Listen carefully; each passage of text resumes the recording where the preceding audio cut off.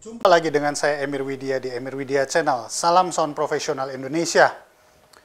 Kali ini kita akan mengukur impedansi daripada sebuah speaker dan nanti apa gunanya kita akan lanjut-lanjut di pelajaran berikut. Di hadapan saya ada speaker 15 inch. Uh, sempat pemirsa saya perlihatkan meja ini di Facebook, di Instagram. Semua uh, meledek saya. Wah, ini ini buat apa? Buat tukang bakso dan lain sebagainya.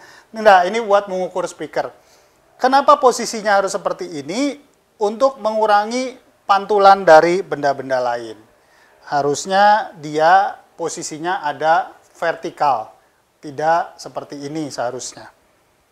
Nah, kita langsung kita ukur impedansinya, nanti kita buka komponen apa ini. Oke, kita langsung ukur. Sebelumnya saya sudah melakukan kalibrasi dan ini kita simpan.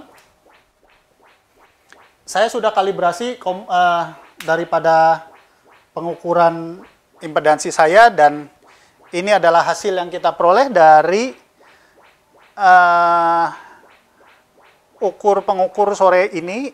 Kalau dilihat di sini ini adalah Fs daripada komponen ini atau frekuensi resonan dari si komponen ini. Komponen apa ini? Mari kita sama-sama lihat. Ya, kita sama-sama lihat apa ini. Ternyata ini adalah RCF MB ya, MB itu berarti mid bass 15 N 351. MB mid bass 15 N 351. Maka dari itu ini suaranya lebih mid dibanding eh, mungkin komponen lain yang sifatnya untuk rendahnya, untuk low. Baik, yang berikutnya kita akan coba satu komponen lagi. Ada banyak komponen di seputar sini.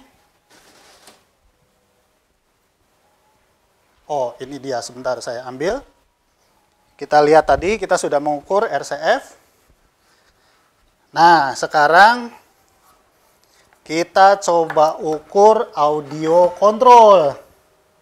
Kalau ini L berarti low 15 B 8 4B. Saya kalau nggak salah ini 8-nya ini berarti 8 ohm. 4B-nya berarti uh, voice coil-nya. Oke. Okay. Ini audio control. Sebentar. Hmm. Oke, saya pasangkan.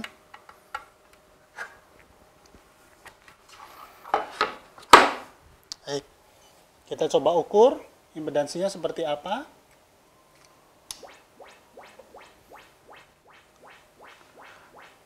Ternyata dia lebih rendah daripada eh, RCF.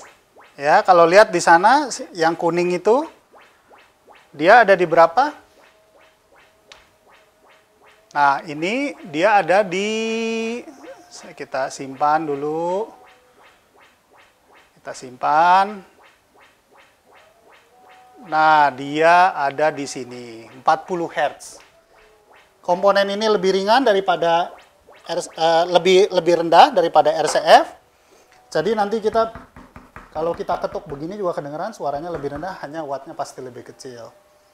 Demikian pemirsa, itu cara ringkas kita mengetahui frekuensi resonansi dari sebuah komponen. Dan kita akan lanjut di video-video berikutnya untuk mengetahui ini cocoknya untuk apa. Demikian pemirsa, sampai jumpa kembali di video berikutnya. Dan jangan lupa subscribe dan like-nya. Salam sound profesional Indonesia.